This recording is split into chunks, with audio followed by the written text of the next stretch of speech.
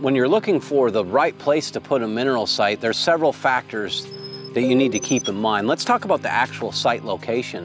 The best is where you're gonna find a couple trails coming together, if at all possible, a high traffic area. And, and there you wanna get three or four feet, maybe six feet off of that trail, preferably in some shade and near water. The first thing we're gonna do is we're gonna make a circle about two feet around and we're gonna remove the top two to three inches of soil. Once we have that hole dug, now what I'm gonna do is get that 30 odd six, that granular mineral, and I'm gonna pour it in here and mix it up. So I'm gonna put, that's about 10 pounds. Now I'm gonna work that soil up in here.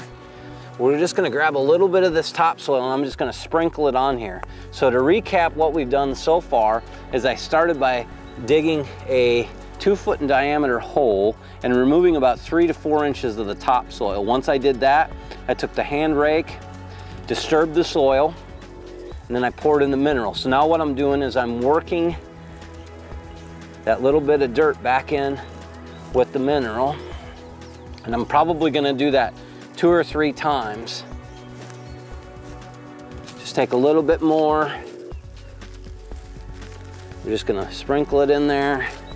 We're gonna work it, work it in good with the soil, okay? So you wanna be able to see the mineral, but you don't want it to be just pure mineral okay? And then what I'm going to do to finish my cocktail, I've got about 10 pounds of the granular here, is I'm just gonna sprinkle a little on top. There's an aroma that's added to this mineral. It's very sweet. I'm just gonna pour a little on top. And now I'm gonna add my 465. 465 is just like a standard trophy rock, except for it's crushed. And it's really the best value because per weight, you get more trophy rock than you do in the rock form. So I'm just gonna put this 465, I'm just gonna pour it on top.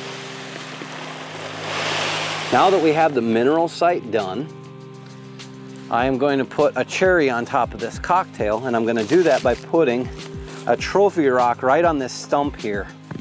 And if you don't have a stump available, one of the best things to do is try to put it on higher ground, okay? So now we're doing the exact opposite of what I want to happen here, where the 465 is gonna leach into the ground. By putting it on a stump, it's gonna allow this mineral to stay intact for much longer, and the deer are actually gonna consume a lot more of it. You have less leaching uh, when you put it up on a stump like that whenever you can.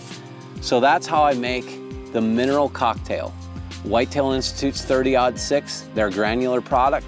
On top of that, we're putting Trophy Rocks 465. And then the icing on the cake, the cherry on top, is going to be a Trophy Rock. I've got one more trick I want to show you. One of the things that you can do for your Trophy Rock product is in order to ignite it, that aroma is just pour some water on top of it. I'm gonna pour water on top of the rock and on the 465 simply just a bottle of water on top of that, and you are ready to roll.